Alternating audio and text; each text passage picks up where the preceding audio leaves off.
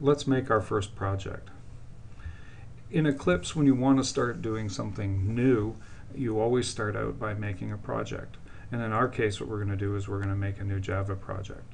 So under File menu, there's File, New, Java project. We have to give the Java project a name. Practically any name will work here. And this is just the high-level folder name. In general, we're going to find that as we start using Eclipse, there are lots and lots of screens that ask for lots and lots of information, but in general, all that you have to do is take the default. So in this case, rather than uh, pressing the next key, we're just going to put the minimum amount of information in, the folder name, and hit finish. And if you look in the Project Explorer, it's now created a folder called Stuff. The icon marks it as a Java project.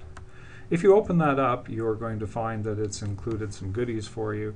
The JRE system libraries are stuff that Java needs to run, and that's always going to be included in any Java project that you do. Right now, we don't actually have any files in this project that are of use to us, and in particular, we don't have any source files. Essentially, this is just an empty folder.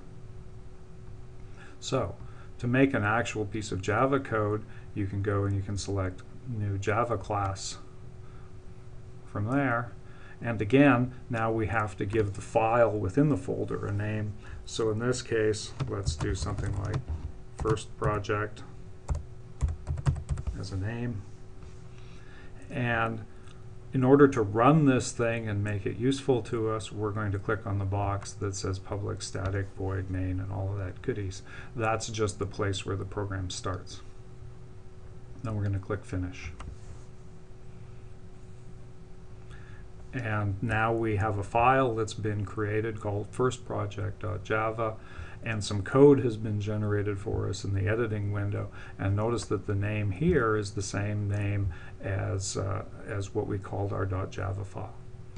One of the keys in Java is that all classes should begin with a capital letter to start with, and every word after that should be should also be a capital letter. And if you make a class called first project, then the file name has to be firstproject.java. This is actually a code template. In our case, uh, we're not going to worry about comments at this point, so we're just going to get rid of that. And we're also not going to worry about this other special kind of comment. We're going to get rid of that. And there's your basic Java project.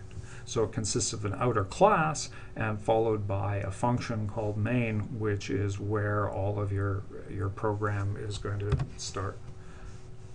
So here we go. We can do a traditional program that prints out some information.